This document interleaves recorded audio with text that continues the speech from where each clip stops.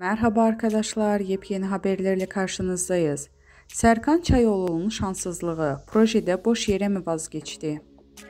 Yakışıklı oyuncu Serkan Çayoğlu, Disney Plus için çekimleri hazırlandığı O Gelin Benim isimli film projesinde daha başlamadan iptal etti. Kısa süre önce bir başka projeden vazgeçen Serkan Çayoğlu, başına gelen bu büyük bir şanssızlık olabilir mi?